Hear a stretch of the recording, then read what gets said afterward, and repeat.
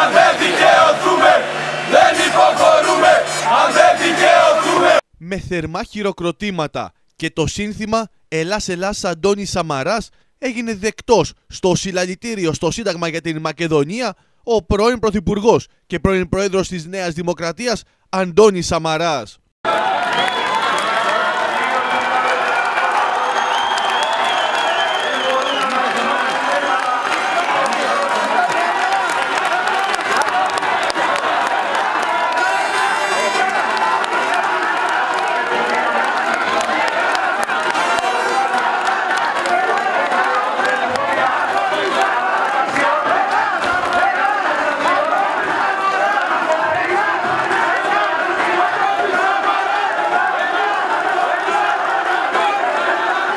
Ο Αντώνης Σαμαράς πάντως δεν μπόρεσε να κρύψει την συγκίνησή του.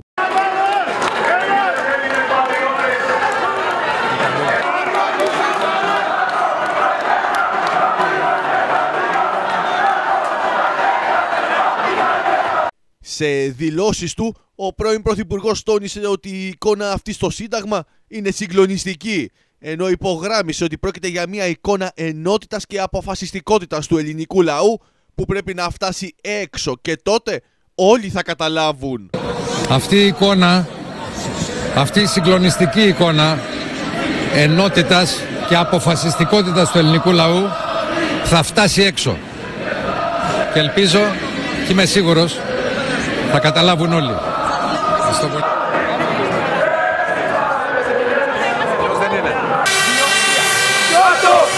Τα χέρια απ' τη Μακεδονία! Κάτω